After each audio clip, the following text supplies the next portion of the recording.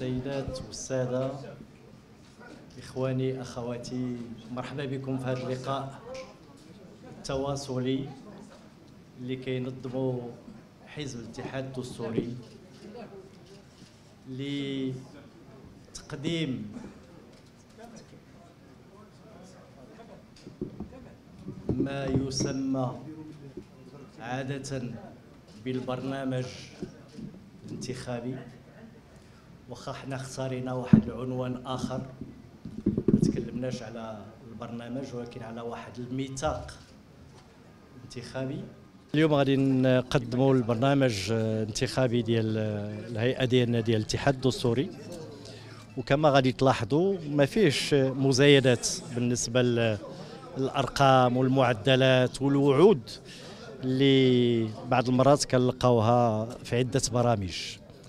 أنا اليوم كنسمع لواحد التقديم ديال واحد البرنامج ديال واحد الهيئة محترمة اللي كتكلم على معدل ديال النمو نسبة النمو اللي غادي تكون عندنا في السنوات المقبلة غادي تكون 6%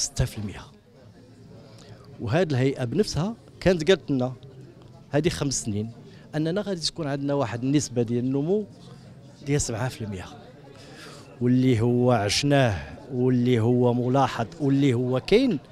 لا سبعة ولا ستة ولا خمسة ولا والو. وصلنا لواحد النسبة ديال النمو اليوم اللي هي أضعف النسبة اللي عشناها في بلادنا. ما كنتحداوش واحد في المئة حسب جميع التقارير ديال المؤسسات المختصة في هذا الميدان. وحنا في هذه الفترات الانتخابية كل الهيئات كتجي. بالبرامج ديالها وبال وكنجيو وكنقولوا لعباد الله غادي نديروا غادي نخدموا في الصحة وغادي نخدموا في في التعليم وغادي نخدموا في السكن وغادي نخدموا في الاجهزه الأساسية. ولا بغينا نفهموا عليهم أكثر كنقولوا لهم شي مسائل تقنية.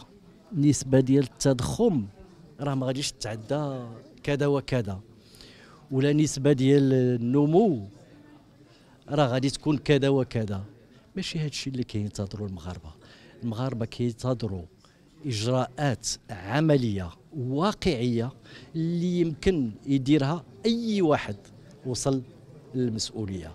حنا كنعتمدوا الواقعية كنعتمدوا الفعالية في هذه الإجراءات المتواضعة اللي غادي نبينوها لكم اليوم من خلال البرنامج اللي غادي يكون بين يديكم.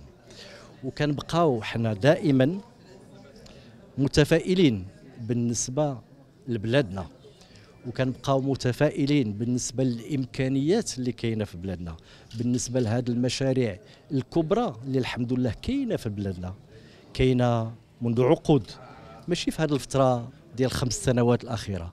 كاين استراتيجيات قائمة اللي وضعتها الحكومات السابقة واللي هي أساسية بالنسبة للتنمية ديال بلادنا.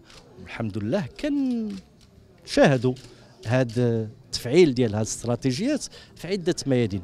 لكن بالأسف اللي كنلاحظوا في هذه السنوات الأخيرة هو شوية ديال الهدوء في تنفيذ هذه البرامج الهيكلية القطاعية المهمة لأن كيخص حكومه اللي تكون واعية بالأهمية ديال هذه البرامج.